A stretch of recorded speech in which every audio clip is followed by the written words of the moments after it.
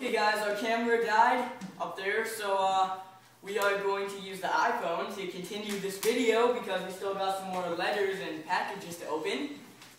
Saray sent me a letter, which is pretty long, and I can't wait to read that as soon as I'm done.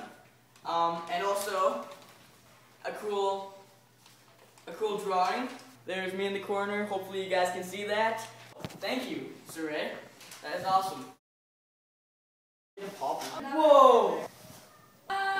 Wow, I can't wait to wear that. Nice.